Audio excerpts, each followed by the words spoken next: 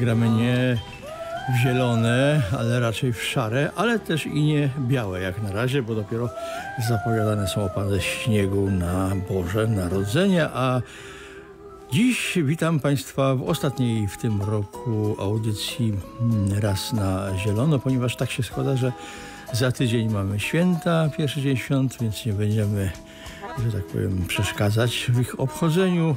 I podobnie będzie z noworoczną audycją też w sobotę, więc spotkamy się dopiero w kolejną sobotę, ale już bez obciążeń świątecznych.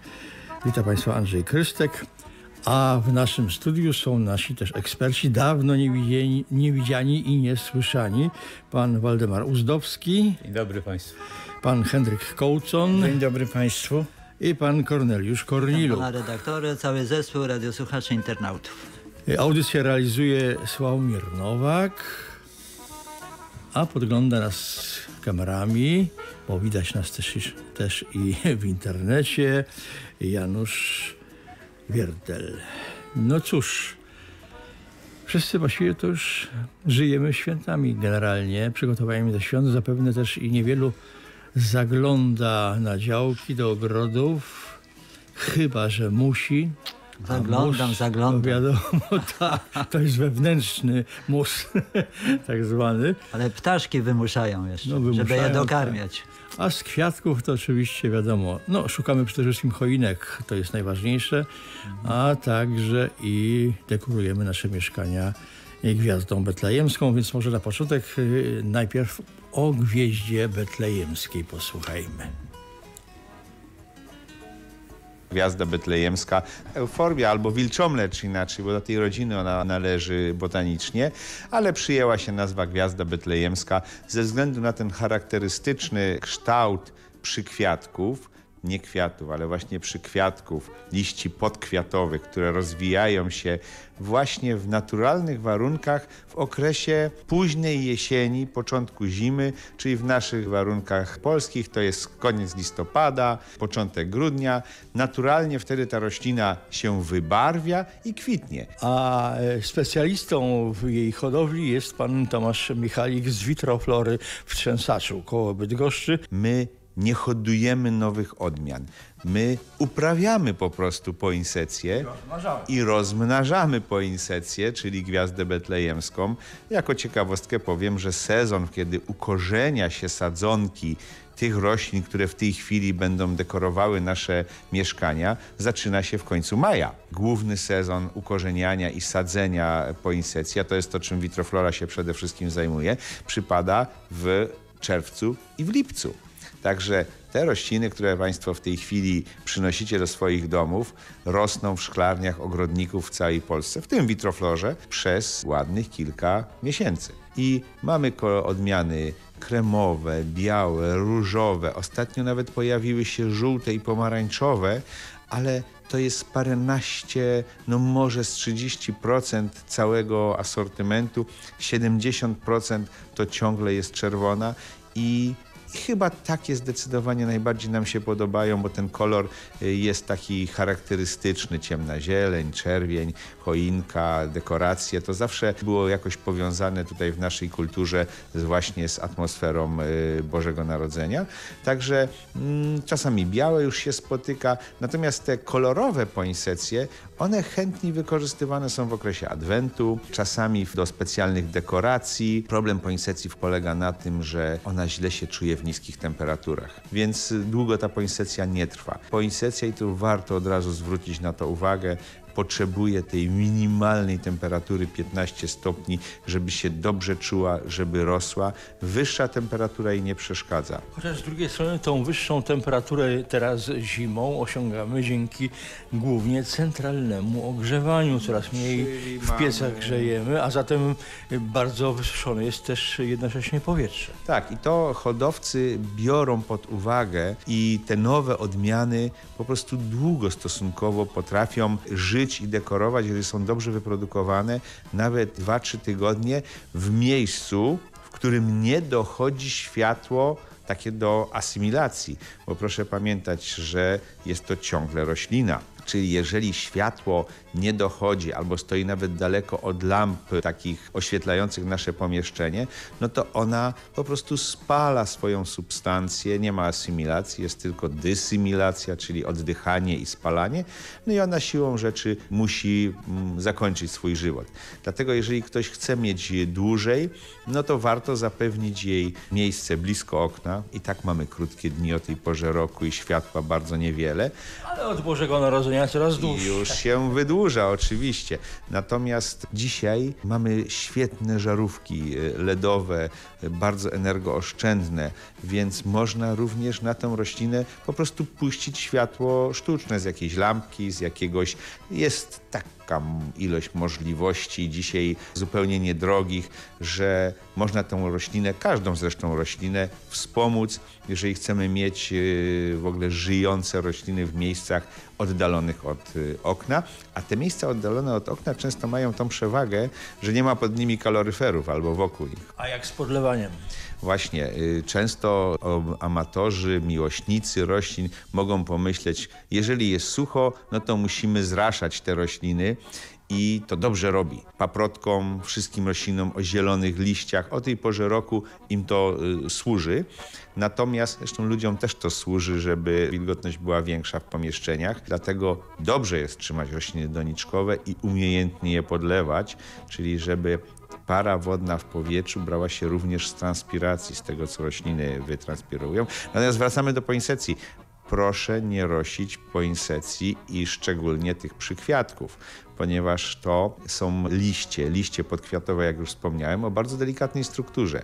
Jeżeli zaczniemy je rosić, to szybko na nich wystąpią czarne plamy i roślina będzie źle wyglądała. Poinsecji nie roślimy, umiejętnie podlewamy, najlepiej na miseczkę, ale proszę po gdzieś 3-4 cm wody może być, nie więcej. Po 10 minutach, 15 maksymalnie, proszę nadmiar wody zlać. Doniczka jest w tym czasie mokra, ona sama podsiąknie. Tak one są w większości dzisiaj szklarni uprawiane, właśnie metodą podsiąkową. Ja zawsze mówię, palec w doniczkę proszę włożyć i, i zobaczyć, czy ta ziemia jest już totalnie sucha, czy ten substrat jest totalnie suchy, czy jeszcze tam jest wyczuwalna jakoś wilgotność. Jeżeli już jest totalnie sucha, to może być za późno ale wtedy też liście zazwyczaj już wiszą. Ona się pozbiera po podlaniu, ale już nie będzie miała tych cech dekoracyjnych. Często w warunkach domowych to może być nawet codziennie, może być co drugi dzień. To trzeba sprawdzać. To jest tak indywidualne, że nie znam ogrodnika, który potrafi odpowiedzieć jak często. To trzeba sprawdzać. Tego się trzeba nauczyć. No i posłuchaliśmy, jak y, właśnie utrzymać jak najdłużej gwiazdę betlejemską na świątecznym stole, parapecie w każdym razie w mieszkaniu. Y, Myślę, że to się przyda, ale też i musimy myśleć o naszych roślinach na działkach, w ogrodach, w sadach. Zatem o czym myślę teraz porozmawiamy, nie powinniśmy zapomnieć ani w okresie tych bardzo dużych, bardzo absorbujących przygotowań świątecznych do świąt, jak i w czasie świąt. Ja to myślę, że najważniejsze było to, żeby tak e, podejść praktycznie do ogrodu i według mnie to najlepiej zakończyć wszelkie prace takie pielęgnacyjne, osłonowe przed zimą, jakie robimy w ogrodzie właśnie teraz do świąt. Zwłaszcza, że już mieliśmy jakby przedsmak zimy. To by, była właśnie taka próbka trochę takiego strachu zimowego, ale, ale i tak musimy niektóre rośliny osłonić, jak chociażby tradycyjnie róże albo inne rośliny posprzątać, trochę wyściółkować gdzieś pod, pod różanecznikami, pod roślinami bardziej delikatnymi, ale po, generalnie radziłbym zakończyć tę pracę, nie przejmować się, że może być trochę na plusie bardziej, e, trochę mniej, czy będzie duży mróz, to już wtedy będziemy bezstresowo mogli sobie świętować, przypomnieć sobie o ogrodzie, e, radziłbym dopiero na początku marca, ewentualnie jak się za ciepło zrobi. W ogóle nie zaglądać do tego czasu? Nie ma po co, jeżeli się prawidłowe osłony założy, takie, których wiatr nie zwiewa i które się dobrze zamocuje, to nie ma po co zaglądać, bo to i tak dzień, dzień jest bardzo krótki. Jeżeli nawet temperatury są takie jak teraz, czy takie jak były, że tam parę dni będzie 8 stopni, czy nawet 10 stopni, czy 5 stopni, to nie ma żadnego znaczenia. Generalnie okrywamy i osłaniamy rośliny w ogrodzie przed, temperatury, przed temperaturami takimi skrajnymi, jak minus 15, minus 20 stopni, czy nawet poniżej, jeżeli będzie. No takie Tak bywają celujemy. jeszcze w okolicach y, drugiej połowy stycznia, z tego co zauważyłem. No tak, dopiero wtedy będą, ale to nie ma sensu wtedy dopiero jak ojojoj jest niska temperatura, czy duże wiatry, czy jeszcze śniegu trochę przywali, to już w ogóle nie będzie można tego okryć, bo to jest kłopotliwe, trzeba najpierw śnieg Uwaga, wtedy jak duże śniegi, zaspy się tworzyć mogą, a wtedy i zające wtargnąć mogą, też sarny Tak, to i to i, to i owo uszkodzić. duże śniegi mają też zaletę w ogrodzie, dlatego że to jest naturalna osłona roślin. Najlepiej gdyby były, no ale nie mamy gwarancji, że nawet jeżeli będą, to będą dłużej niż kilka dni. Te gwarancje niestety ostatnio zanikły już tych prawdziwych zim takich śnieżnych, gdzie rośliny są otulone naturalną poduszką śniegu. Nie ma, bo śnieg Dobrze, jest właściwie w najlepszą popada trochę tego śniegu. No, popada, znowu zniknie, będzie sucho i tylko mroźnie i to jest najgorsze, co może być dla roślin w ogrodzie. To rzeczywiście dla ozimień szczególnie. Tutaj kiedyś miałem takie pytanie, czy przy takich temperaturach zdejmować osłony. Y, W żadnym wypadku nie. Y, Bo y, temperatura to jest jedna sprawa. Druga sprawa, jeżeli nawet mamy tam te minus 2, minus 3, minus 5, przemarznie nam ziemia, wówczas występuje, zaczyna występować tak zwana y, susza mrozowa. I jeżeli roślina jest osłonięta, to ona lepiej to przechodzi, nie, nie, nie, nie wysycha tak szybko. Natomiast jeżeli byśmy zaczęli zdejmować, zakładać osłony, to y, roślina y, zwariuje, że tak powiem. Bo ona nie będzie wiedziała, czy jest ciepło, czy zimno i, i Straci orientację. straci orientację, możemy, możemy zaszkodzić bardzo mocno tym zdejmowaniem. Czyli zakładamy osłony, osłaniamy, zostawiamy, tak jak Waldek mówił, a jeżeli chcemy sobie coś popracować, to y, przypomnieć sobie tam od stycznia o wszelkiego rodzaju narzędziach, które używamy w ogrodzie. Zaczynając od y, najbardziej prostych, czyli tam łopata, szpadel, motyka, e, noże, sekatory, to wszystko wyczyścić, można zdezynfekować, y, naprawa kosiarek, jeżeli ktoś potrafi sam, e, ostrzenie noży do kosiarek. No, no takie te prace związane Podstawowe. z tym, z tym całym osprzętem, który, żebyśmy na wiosnę się nie, nie okazało, że no, a, a tępy szpadel, czy kosa nie chce kosić, czy kosiarka nie chce odpalić. A jeśli przyjdzie nagłe ocieplenie, choćby w styczniu na przykład, bo trudno Nic nie robimy. Według mnie to nic nie no robimy. Wtedy, y, wtedy może pleśń się wdać pod Tak, to. i pan redaktor ma rację, dlatego że ja już musiałem kopczyki z kory rozgarniać, bo były takie zimy, dużo deszczu padało i tam już się pleśnie wkradały. No właśnie, pleśnie. To musiałem rozgarniać. No Tak, takie kwestia, były zjawiska właśnie. kwestia temperatury. Jeżeli przybrozi i mamy, y, też zależy czym, jak w wypadku róż y, ziemią obsypujemy, To, no, to tam to nie. To, To nie, tam gdzie są takie materiały jak kora, czy, czy y, często się też widzi, że na przykład ktoś y, trocinami y, robi, o, osłania korzeń i wtedy przy dużych opadach deszczu i temperaturze w granicach zera plus paru stopni może, mogą być y, pleśnie wchodzić. Ja dlatego mówię, że jeżeli z zastrzeżeniem, że jeżeli zrobimy prawidłowe osłonięcie roślin, musimy uwzględnić właśnie to, że teraz mamy zimy takie, jakie mamy, czyli właściwie zimowiosny często, bardziej wiosny niż zimy. I dlatego te wszystkie materiały używane do osłonięcia roślin muszą być przewiewne, muszą zawierać w sobie powietrze, nie mogą być, nie mogą tworzyć jakiejś takiej szczelnej pokrywy. Nawet jeżeli y, obsypujemy na przykład róże. Ziemia jest takim naturalnym, dobrym składnikiem, chociaż jest dosyć ciężka. I nawet w tych warunkach lepiej by było bardzo grubą korą, taką naprawdę grubą obsypywać, bo wtedy jest w środku powietrze i tworzy to izolację, a jednocześnie nie nasiąka wodą i nie tworzy takiej zwartej, niedopuszczającej powietrza e, warstwy.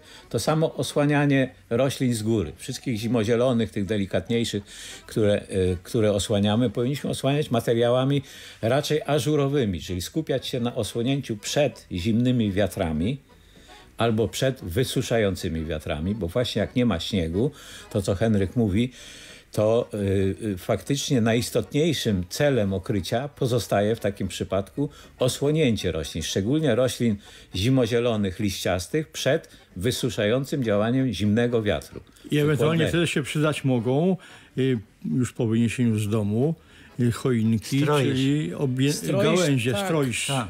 choinkowy. Tak, tylko że to jest do dosyć uciążliwe to okrywanie. Najprostszym ostatnio używanym materiałem do okrywania jest tak zwana cieniówka. Ona ma kolor zielony, czyli dosyć estetycznie to wygląda. Nie wygląda to jakoś tak tra tragicznie krzyczące po ogrodzie.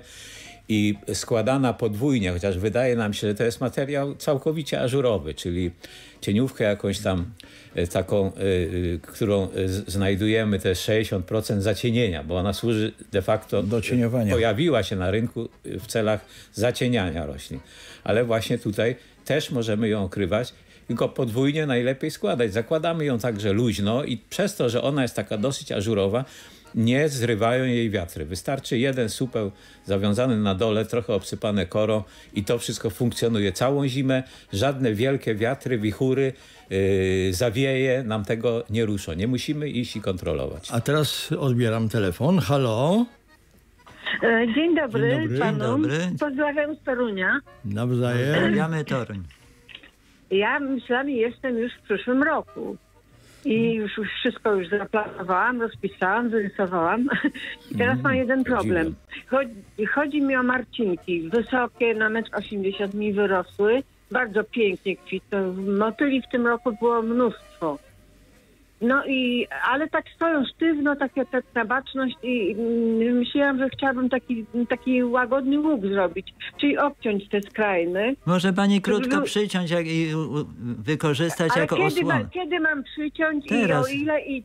Albo poczekać na mrozy jakieś i wykorzystać do osłony na, na niektóre rośliny. Ale nie no, Marcinki, ja już przycięłam, ja, oczywiście one są przycięte przy ziemi, ale chodzi mi o, o przyszły rok. A, to Ale w to zależy od odmiany ich wysokość. To i tak nic nie da. Co, No co, metr 80 jakkolwiek by pani nie działała, wszystkie i tak pędy nadziemne zamierają na zimę. I je musi pani przyciąć. Pani to zrobiła.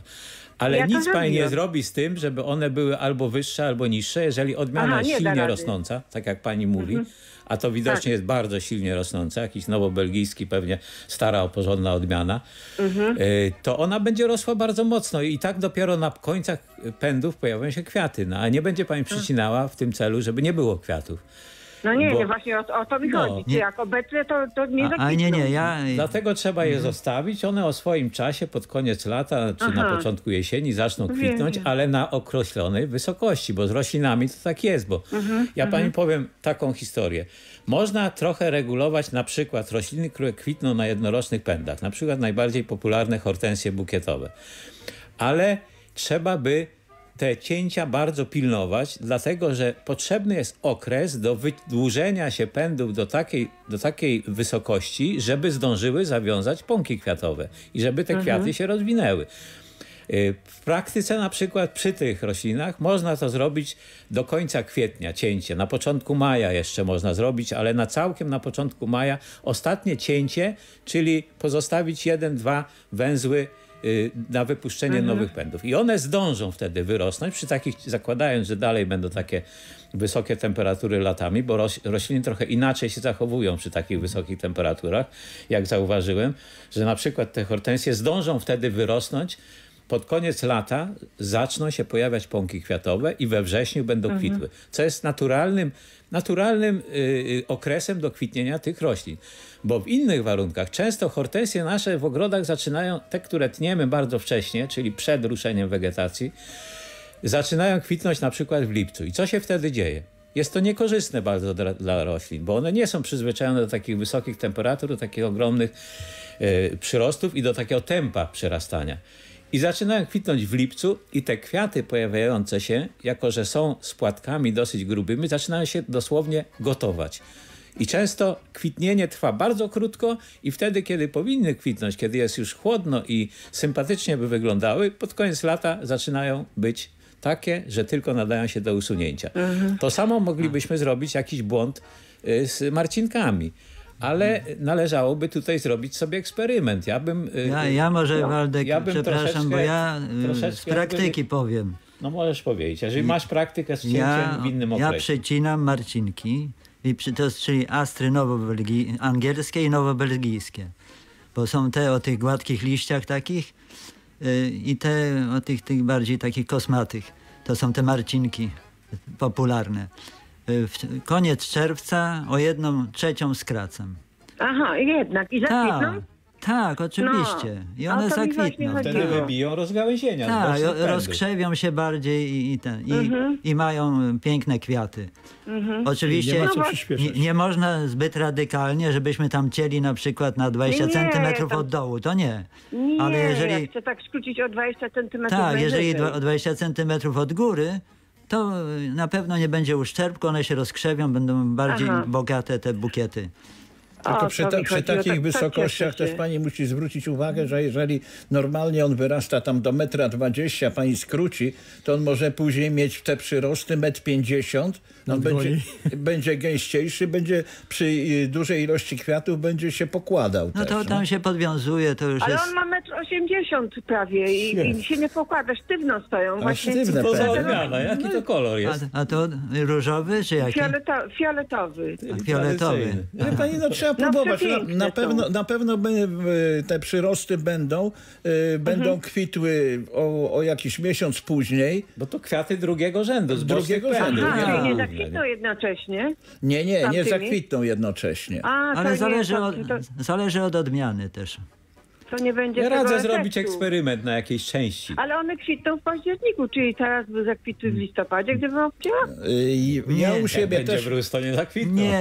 Wszystko zależy od Nie, pogody. nie, one będą w październiku, one już tam w drugiej połowie lata już są, także Ja myślę, że jedne wcześniej, przecież. drugie trochę później, także przedłużamy No, trochę ten okres kwitnienia. Ja No mam to jakąś taką odmianę, która kwitnie we wrześniu, zaczyna kwitnąć i kiedyś Ja- no, musiałem ją przyciąć, bo, bo no, po prostu tam była konieczność przycięcia, to one mi w listopadzie zakwitły. Była ładna pogoda i, i kwitły. Może już nie Mhm. Tak, tak, ja mam też taką, taką odmianę, takie niebieskawe, niebieskie prawie, że Mhm. i one kwitną w listopadzie dopiero. I No i, wysokie, i, te, które, pani przytnie, nawet, nawet w listopadzie mówię, te kwiaty już nie były tak ładne, nie ze względu Mhm. na pogodę yy, i, i temperaturę, to, to nie były tak ładne jak te, które we wrześniu były, ale kwitły. No zobaczymy, zrobię eksperyment jednak. No takie eksperymenty można w ogóle robić z wieloma bylinami, z tymi wysokimi, szczególnie takimi na przykład jak floksy, czyli Mhm. No właśnie, płomyki. mam problemy z za wysokimi roślinami, bo na przykład słoneczniki wierzboliste też mi wysoko dobra wyrastają na jakieś 2,5 metra. O, te tak. I, no i potem przewracają się, krzywią się, tak brzydko to wygląda i Też i może pani przyciąć, spokojnie. Ale one Ale- są takie ładne, dopóki właśnie w listopadzie, w październiku robią się takie brzydkie. One Czyli są takie za, do, za dobrą tym. ziemię pani ma, albo za dużo Tak, ja nawozu. mam bardzo dobrą ziemię, ciężką w uprawie, ale dobrą. No to w jest jakim to rejonie Torunia? Y, Tak, w Rogówku. Rogów. Aha, to tak. to- No tam jest tam okropna ziemia. W pierwszych latach to ja musiałam narzędzia kupować co roku, bo mi się łamały. Tak, taka ziemia była ciężka. No ja, ja mam mamy. ten sam problem, bo mam trzeciej klasy tam dział k- trzeciej Mhm. klasy ziemię i cokolwiek się posadzi, to jest, jest problem. Jak na drożdżach. Bo jeżeli jest wilgotno tylko, no to te, te rośliny są bardzo bujne. No, są plusy i minusy takiej ziemi, także ja tam nie narzekam właściwie, bo, Czy- bo zie- nie trzeba podlewać zbyt często, y, nie jest tak źle. No ziemia żyzna jest jest dobra i- w ogrodzie. E, Ale radziłbym zwrócić w takim razie uwagę, że e, e, szczególnie byliny, to no bylina to jest powiedzmy chwast, no, tylko bardziej ozdobny. E, Jak wiemy, chwasty rosną bardzo szybko, byliny tak samo. E, Trzeba by zwrócić uwagę, żeby jak będzie pani ku- kupowała nowe odmiany jakieś sobie do nasadzeń, to zwrócić na te wolniej rosnące, bo teraz jest bardzo dużo tych roślin różnych i tak samo marcinki są bardzo niskie, No wie czy pan średniej ja- wysokości. Tak, I wtedy tak, one ja nie mam, mają takiego tempa mam, wzrostu. oczywiście.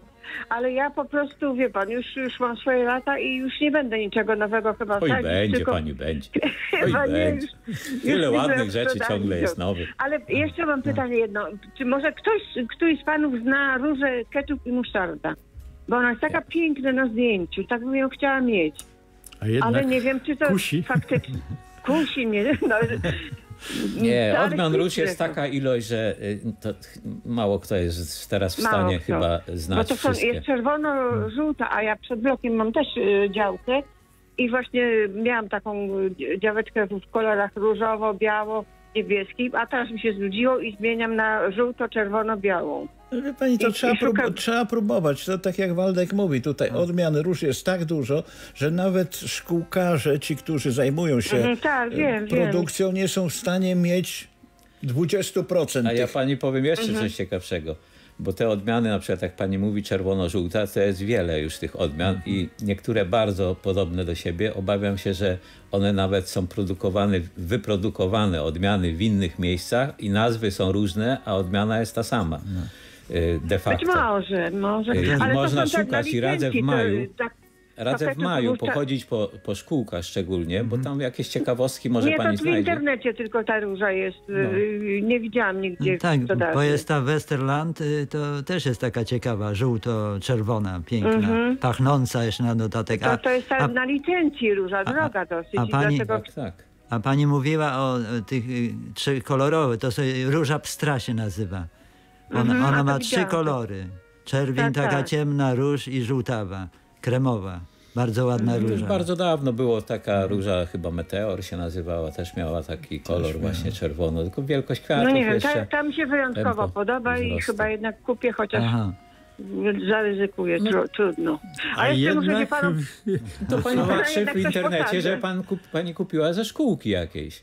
Nie z takiego punktu handlowego, tylko żeby to była szkółka. Przecież można zobaczyć nawet zdjęcie, gdzie to jest, czy to są zagony, pola, czy nie. Y, No tak. Jakąś weryfikację sobie przeprowadzić. No i wtedy ma pani, bo rozumiem, No ja że trochę, pani... nie- mam, trochę się rozczarowałam, bo dwa lata temu y, kupiłam dużo rzeczy w internecie i prawie wszystko było nie to, co chciałam, albo w ogóle No to nic nie wyrosło. mówię, że i, pani zweryfikuje No. w ten sposób sobie. Jak ma pani Właśnie. internet, ogląda, popa- popatrzy, wejdzie w Google, zobaczy zdjęcie z góry, z boku, czy Mhm. to przy ulicy, czy to tylko domek bez ogrodu, co to jest, nie? Da się to I zrobić. te są kiernasze czasami wiosenne czy jesienne, tak. gdzie przyjeżdżają właśnie hodowcy i też sprzedają.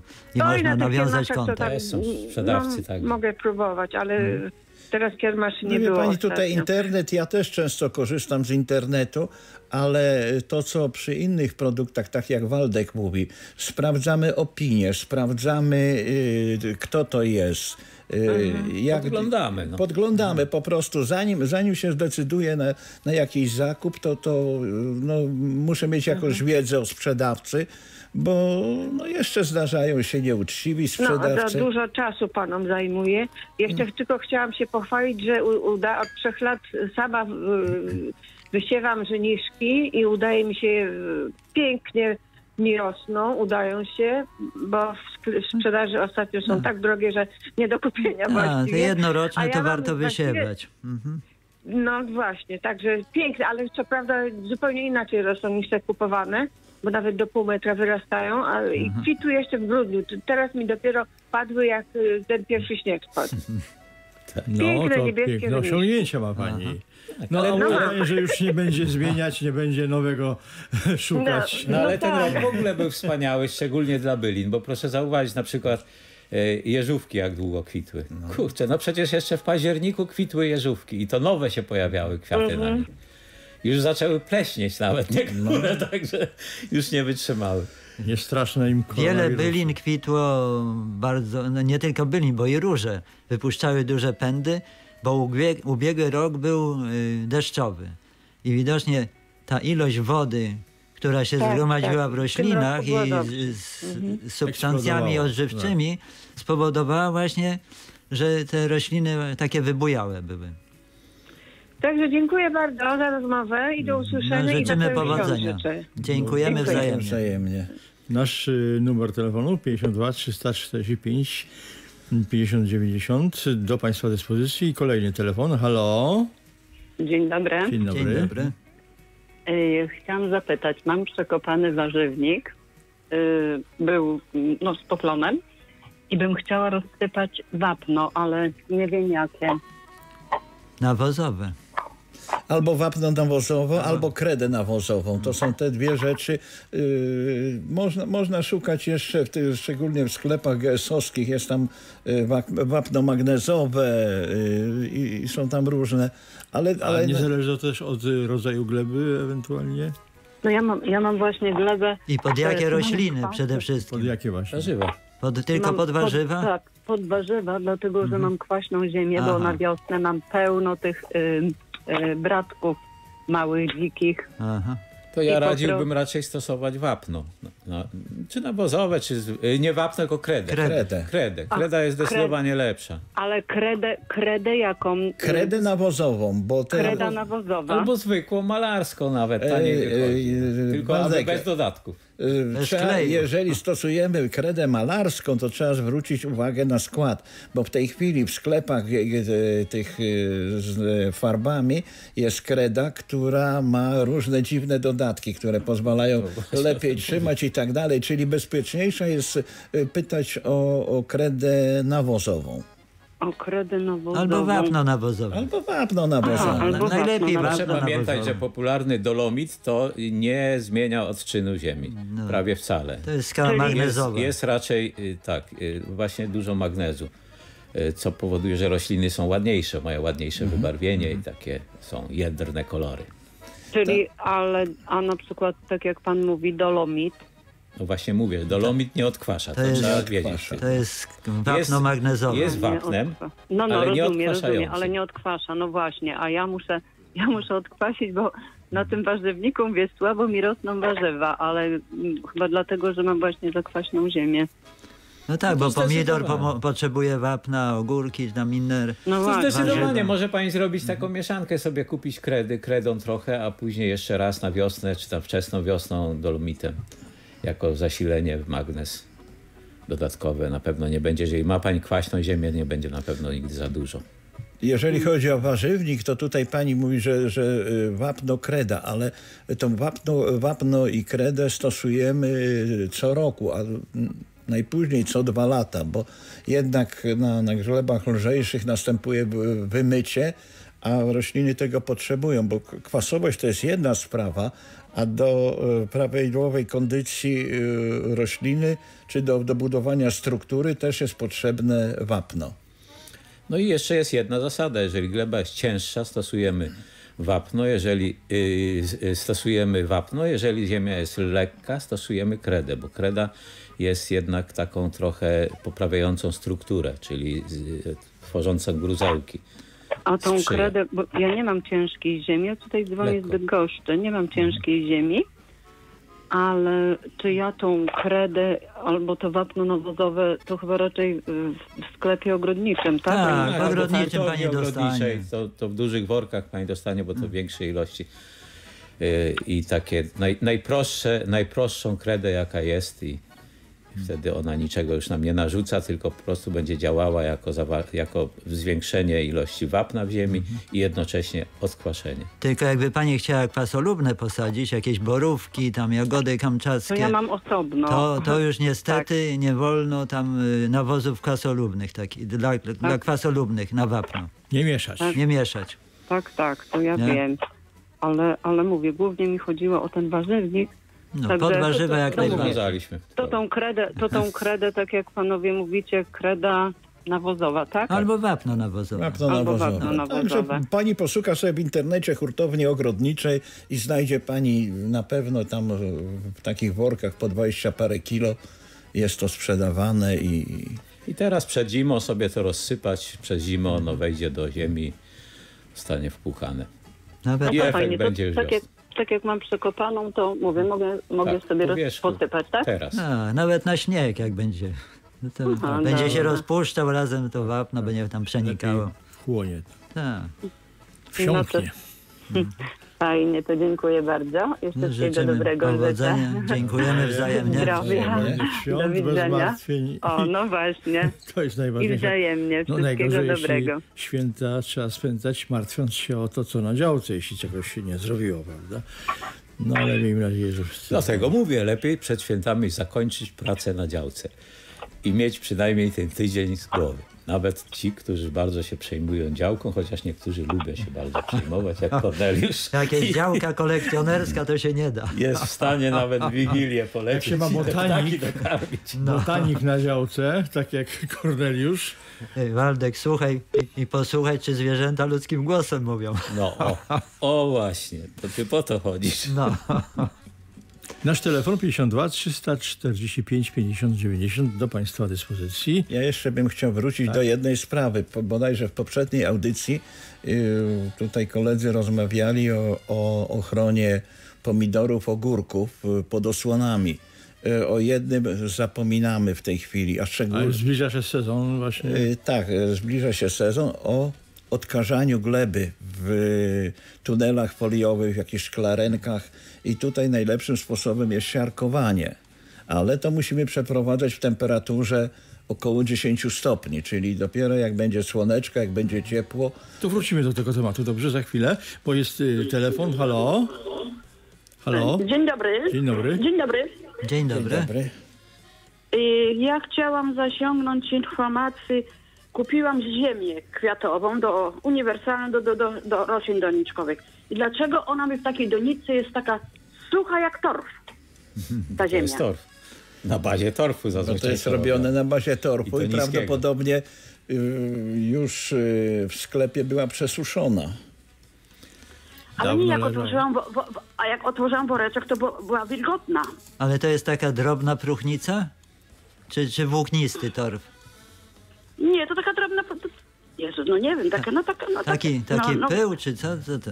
Jeżeli Nie, weźmie nie, pani to nie, to nie lekko... było pyły, to nie, było, to nie były pyły, to były takie grudki takie, takie. Grudki. pani radzę, jeśli pani weźmie, otworzy taką ziemię, którą kupiła i weźmie w, między palce i jeżeli ona brudzi palce, to radziłbym zwykłego e, rzecznego piasku troszeczkę dodać, ale niewiele, tak z jedną, e, jedną dziesiątą.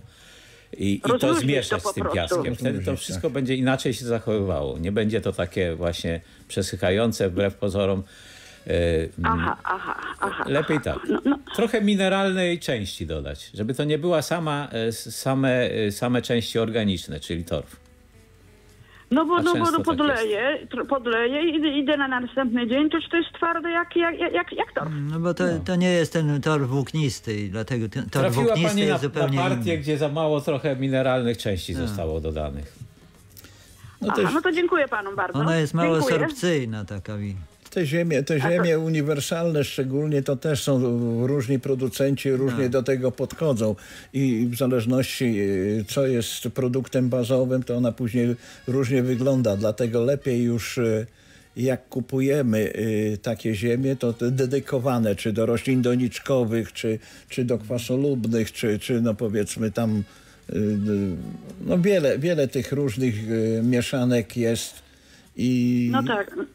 I- No myślałam, że uniwersalną to mi, to, to mi zda, zda egzamin, ale wszystko- nie, nie po prostu Do wszystkiego. Nie wierzmy tak zawsze do końca. To nie chodzi o oszustwo, tylko o to, że musimy sami krytycznie do wszystkich rzeczy, które kupujemy podchodzić. Takie czasy są dziwne teraz, że musimy z własnego doświadczenia zobaczyć, jak to wygląda. I tak jak mówię, no organoleptycznie, czyli palcami zrobić sobie test, zobaczyć, sprawdzić, jak to się będzie zachowywało. No ziemia musi mieć trochę części tych mineralnych, bo ziemia żyzna to jest część, gdzie jest bardzo dużo tych najdrobniejszych części, czyli na przykład glinki trochę, no ale gdyby pani znalazła na przykład trochę dobrej ziemi, takiej żyznej gdzieś z ogrodu, nie, nie torfowej, tylko ziemi takiej spod y, buraków, o, y, powiedzmy.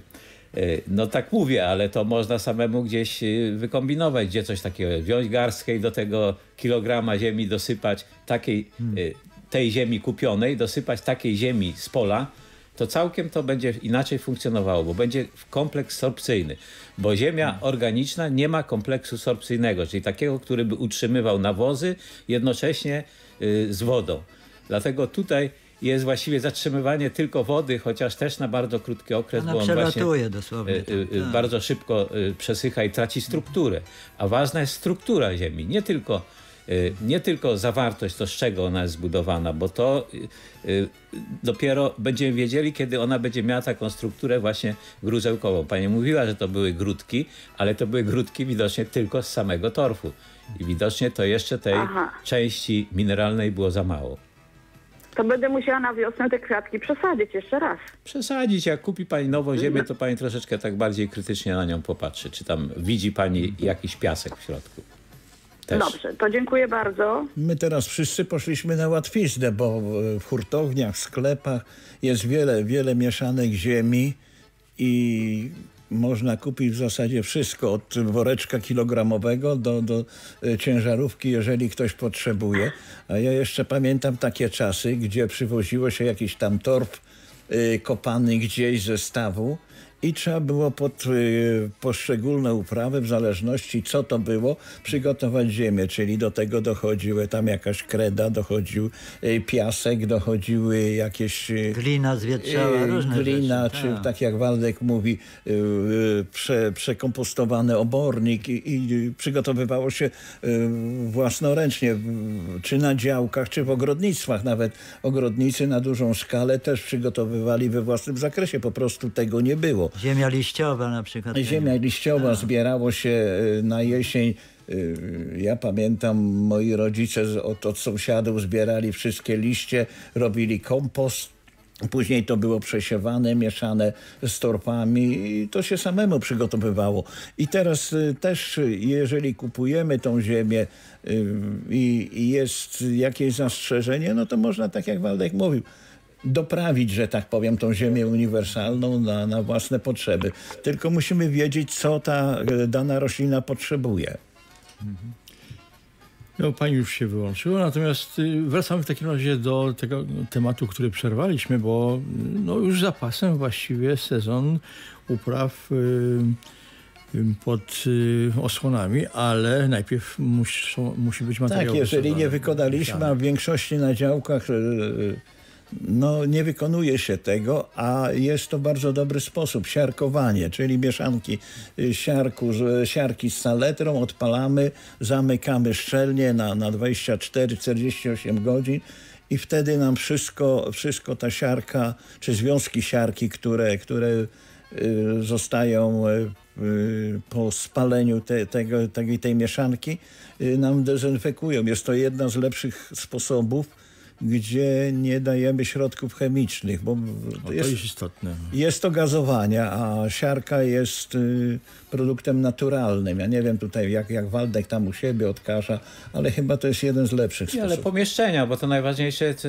to służy do odkażania pomieszczeń, Pomieszczeń, czyli tak. wszystkich elementów tunelu, czy tam inspektu, tych drewnianych, tych metalowych, zakamarków, do których nigdy nie wejdziemy, tylko musimy uważać, bo to jest środek, może odkazić nas. Dokładnie. Odpalamy, zamykamy i znikamy. No dlatego, dlatego ja mówię, 24 to jest minimum, Tak. trzeba 48. Zostawiamy szkodniki ewentualnie. Martwe. Potem zostaniemy martwe. Rzeczywiście. No trzeba uważać. Trzeba, no niestety przy wszystkim to trzeba myśleć, bo to przy, czasami niektóre rzeczy są niebezpieczne bardzo.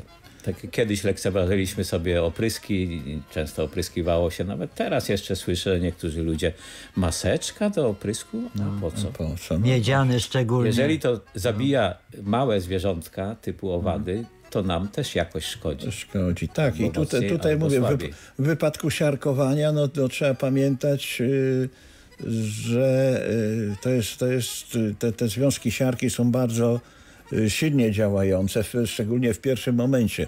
Y, Uszczelniamy te, te nasze pomieszczenia, które chcemy y, przeprowadzić dezynfekcję i co najmniej 24 godziny nie wchodzimy. Później przed wejściem do, do pomieszczeń otwieramy, dobrze wietrzymy. I dopiero tam po, po kilku godzinach wietrzenia możemy wejść i tam jakieś działania, działania robić. I to, co ważne, temperatura y, minimalna to jest 10 stopni przy, przy siarkowaniu, żeby była skuteczna. I w jakim okresie to najbardziej... Najlep, najlepiej to się robi jesienią po zbiorach, jeżeli już czy tam mamy ogórki, pomidory, czy, czy cokolwiek jeszcze, papryki pod osłonami w tych y, foliach, szklarenkach, y, to najlepiej wtedy jeszcze mamy tą temperaturę i zrobić to y, nawet nie usuwając resztek pożniwnych, czyli zostają te resztki roślin, zostaje y, wszystko, co tam mamy i wtedy jest najlepszy termin. Ale jeżeli tego nie zrobiliśmy, to y, no, wczesną wiosną, żeby to marzec, jeżeli już są takie temperatury, które pozwalają przez te y, kilka godzin, żeby te, ta, ta siarka tam podziałała. A zatem jednak trzeba zajrzeć z tego, jak z tego wynika. Zależy co się robi. nie? Jeżeli warzywa, czy jeżeli się robi we własnym zakresie y, wysiew nawet roślin ozdobnych, czy właśnie e, warzywnych, no to niestety zaczyna się prędzej tą wiosnę. To już połowa stycznia się zaczyna. Jeżeli to ktoś ma tylko wysiew. ogród, nie ma inspektów, nie ma tak zwanej produkcji własnej, to y, zaczyna wiosnę później, no tak jak ona naturalnie y, zaczyna się, chociaż w tym y, teraz y, takie czasy mamy, że ta wiosna zaczyna się różnie. Kiedyś były proste zasady, wiadomo kiedy trzeba było się przygotować, kiedy trzeba zacząć ruszać się trochę po ogrodzie i przy roślinach. E, Teraz bywa to różnie, trzeba niestety być czujnym. No tak, ale ty mówisz, Waldku, że, że różnie bywa. Pewne terminy agrotechniczne są ustalone, wynika to z y, lat doświadczeń i, i powiedzmy nie wysiejemy pomidorów do y, y, tunelu czy szklarenki zimnej y, w styczniu, tylko wysiewamy w marcu. Y, Bo no niestety przyjdzie jeden przymrozek i nam to, że tak powiem, zetnie wszystko. I, i tych, tych terminów agrotechnicznych, jakie są, to, to się trzymajmy. Jeżeli ktoś chce eksperymentować, może spróbować, może mu się uda. Ale są pewne terminy. Jestem całkowicie za. Zasad ogrodniczych trzeba się trzymać. Po Nie to są, żeby je przestrzegać. Tak. Tak, to A Ale jeśli nie mniej, eksperymentować, to tylko Obserwować trzeba. Obserwować trzeba, można spróbować, może nam się udać jeden rok, drugi, a trzeci rok nie wyjdzie. No i- Może uda nam się jeszcze też i odpowiedzieć na jeszcze jedno pytanie. Halo? Dzień dobry, Dzień dobry. Anna Dzień z tej dobry. strony. Witamy ze ja chciałam w ostatni ten, tą audycję tego roku życzyć za super audycję, za bardzo pożyteczne porady i życzyć zdrowych, spokojnych świąt, szczęśliwego nowego roku, a przede wszystkim tego nowego roku bez COVID-a. Ba. Dziękujemy bardzo. Wszyscy To tego się przyłączamy do takich życzeń. No, a jeśli my możemy życzyć smacznego, to przede wszystkim właśnie najsmaczniejszych owoców i warzyw z własnego ogrodu, z własnej uprawy. Dziękuję serdecznie i Bo do to jest usłyszenia. największa satysfakcja. My też dziękujemy. I też życzymy wszystkim zdrowych, spokojnych świąt, tego nowego roku, żeby więcej dał jak zabrał. I te, bez covid jak gdyby się udało, ale to... Tak jest. I pod tymi życzeniami, kończąc nasze dzisiejsze Dziękuję ostatnie w tym bardzo. roku spotkanie, dziękujemy bardzo. Y, Podpisujemy się wszyscy w studiu Polskiego Radia Pomorza i Kujaw, pan Waldemar Uzdowski, oczywiście pan. Henryk Kołcon, Do zobaczenia, do usłyszenia. autor tych słów, tak, Korneliusz Korniluk. No, do usłyszenia, do zobaczenia. Przyjmujący telefon od Państwa mm, prowadzący audycję Andrzej Krystek, a także zapewne realizator audycji Sławomir Nowak oraz y, nasz podglądacz kamerowy, tak? Janusz Wiertel. Do usłyszenia już w nowym, nowym roku, roku. chociaż nie 1 stycznia, a 8 bodajże w sobota wypada, zdaje się, następnego roku. I wtedy się spotkamy po raz pierwszy w nowym roku 2022 w magazynie Raz na Zawsze Zielono jednak. Do usłyszenia.